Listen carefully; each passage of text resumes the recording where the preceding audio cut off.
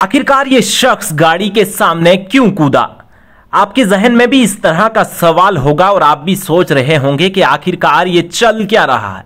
तो आपको बता दें, दरअसल ये एक शॉर्ट फ़िल्म की शूटिंग हो रही है। इस शॉर्ट फ़िल्म का नाम उड़ता जम्मू रखा गया है और इस शॉर्ट फ़िल्म के प्रोड्यूसर और डायरेक्टर जयेश गुप्ता ने एक पहल की कि क्यों ना नशाखोरी को लेकर, मंशियात को लेकर अवाम में बेदारी पैदा की जाए। और अवाम में बेदारी पैदा करने के लिए ज़रूरी है कि सोशल मीडिया का इस्तेमाल करके कोई ऐसी शॉर्ट फ़िल्म बनाई जाए जिससे अवाम को ये पता चले कि किस तरह से हमारे नौजवानों को, हमारी नौजवान नस्ल को मंशियात की ओर धकेला जा रहा है, नशाखोरी की ओर धकेला जा रहा है।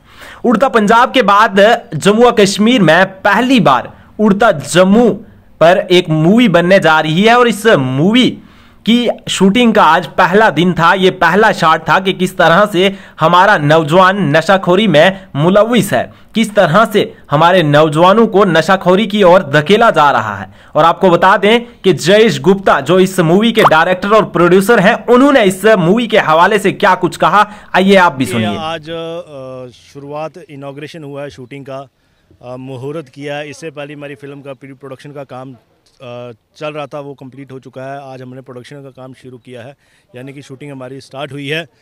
तो ये जो फ़िल्म का टाइटल है उड़ता जम्मू जैसे कि टाइटल ही बताता है कि क्योंकि हमारे यहाँ जम्मू कश्मीर में ड्रग्स तीन चार सालों में बहुत ज़्यादा हो गई है।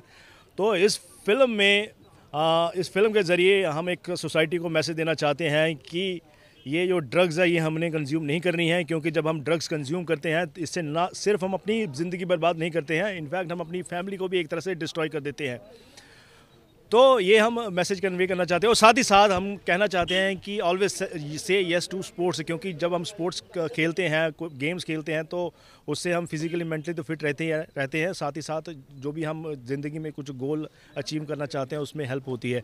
बाकी मैं कहना चाहूँगा कि ये जो ड्रग्स है, देखिए यहाँ पर क्यों इतनी ज़्यादा हो गई है? क्योंकि हमारे यहाँ पर सिचुएशन ऐसी हो गई है अनएम्प्लॉयमेंट ज़्यादा हो गई है प्रोटेस्ट हो रहे हैं। पाकिस्तान यहाँ पर ड्रग्स बेच रहा है, क्योंकि अब वो इंडिया का किसी भी तरह से मुकाबला नहीं कर सकता है तो ड्रग्स के ज़रिए वो यहाँ पर हमारे यूथ को बर्बाद करना चाहता है। और यहाँ पर क्या है कि क्योंकि पुलिस वाले, हमारे एडमिनिस्ट्रेशन वाले अच्छा काम कर रहे हैं, लेकिन कोई एक दो परसेंट थोड़े करप्ट हो जाते हैं, जिसकी वजह से हमारे यहाँ पर ड्रग्स आ रही है। तो एक ये मैसेज फ़िल्म देखने के बाद मैं आपको बता दूँ मैसेज बड़ा अच्छा जाएगा। जो कोई भी हमारा कोई यूथ ड्रग्स कंज्यूम करने की सोच रहा है तो फ़िल्म देखने के बाद दस बार सोचेगा। वो बोलेगा कि, यार, अगर मैं ड्रग्स कंज्यूम होगा करूँगा तो मेरी ज़िंदगी ऐसे बर्बाद हो सकती है और मेरी फैमिली की भी ज़िंदगी बर्बाद हो सकती है। जैसे मैंने कहा, पुलिसकर्मी या ब्यूरोक्रेसी में कोई करप्ट है तो वो भी जब कोई फ़िल्म देखेगा तो वो बोलेगा कि, अगर मैं ऐसा गंदा काम कर रहा हूँ तो कल को मेरे बच्चे भी इस तरह से बर्बाद हो सकते हैं। तो इसलिए this message will give a beautiful message to the society और हाँ last but not the least ये फ़िल्म की शूटिंग तीन चार महीने चलेगी और इन बिटवीन हम क्या करेंगे? कंपेन करेंगे रैलीज़ करेंगे, कुछ स्कूल वालों के साथ कोलेबोरेशन करके डिफरेंट जगह हम रैलीज़ करेंगे ड्रग अवेयरनेस प्रोग्राम करेंगे ताकि लोगों को इसके बारे में अवेयरनेस मिले और after the completion of the film जब लोग ये फ़िल्म देखेंगे, उनको अच्छा खासा मैसेज मिलेगा कि हमको ड्रग्स कंज्यूम नहीं करनी है।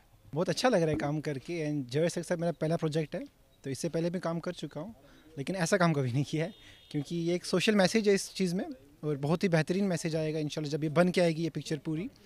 तो ड्रग्स को लेके ये खाली एक मूवी बनाने से नहीं होगा, ये हर किसी को इनिशिएटिव लेना चाहिए कि इसके खिलाफ बात करें। आज के टाइम पे देखें, जम्मू भी एक अलग पंजाब बना जा रहा है। गली गली में लोग नशे कर रहे हैं ड्रग्स कर रहे हैं इंजेक्शंस ले रहे हैं। तो ये हम सब का फ़र्ज़ बनता है उनको इस चीज़ से रोकने के लिए और उनको एक ब्राइट फ्यूचर दिखाने के लिए। तो ये जो स्टोरी है, एक real based Jammu based story है। तो इन आपको पसंद आएगी। थैंक यू बहुत ज़रूरी है। जैसे कि मैं आपको बताऊँ कि इस वक्त जो 90 परसेंट लोग जो हैं, वो सारा दिन सोशल मीडिया पे बैठे रहते हैं।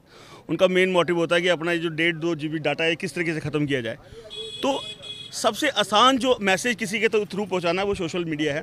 तो मैं बताऊँ कि हमारा ये एक शॉर्ट मूवी बनाने का यही मकसद है कि लोग नशे के जो है, वो अवेयर हो जाएँ, नशा नहीं करना चाहिए। अगर हमारी ये छोटी सी कोशिश एक भी व्यक्ति का नशा छुड़ाती है या उसे नशे से दूर रखती है तो मुझे लगता है कि मैं जयश गुप्ता जी को कहूँ कि ये दिल वाले दुल्हनिया से कम जो है रिवार्ड नहीं होगा।